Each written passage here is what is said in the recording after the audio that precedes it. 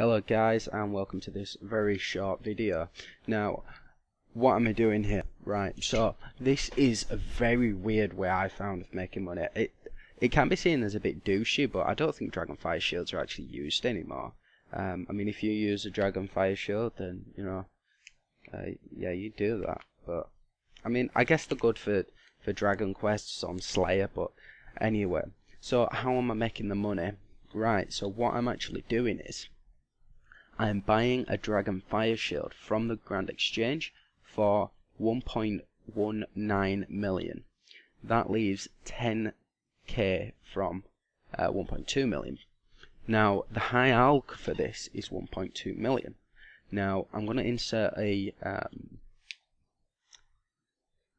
a photo of the uh, the graph of the um, Dragon Fire Shields, and you can see how sharp they've actually crashed um, now, the won't go any lower than that unless Jagex change the high alch value of the Dragon Fire Shield. I will warn you guys that this works on all three Dragon Fire Shields.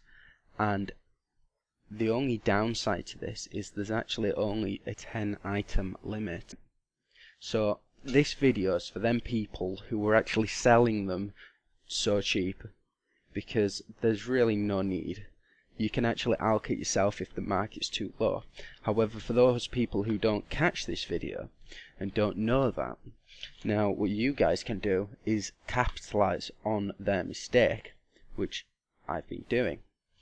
I don't believe that there's going to be much more room for this due to the fact that a, few people may actually try this and it may actually flood the market of uh, demand uh, I don't know, it could raise it, I'm not sure. Just be careful not to go over 1.2 million because the, the, the time that you do, you won't be making profit. The runes themselves, at the time of this recording, cost 400 GP. Now, that leaves quite a lot of profit. So there's a 10 buy limit on each Dragonfire shield, so that roughly means you can buy 30. I did buy 30 and I made 300k within I believe it took me about 10 minutes because I had to go and get the uh, money out of my Miscellania um, thing because I've just finished spending a lot of money on my prayer. So guys, this is a thing for you guys to watch out for.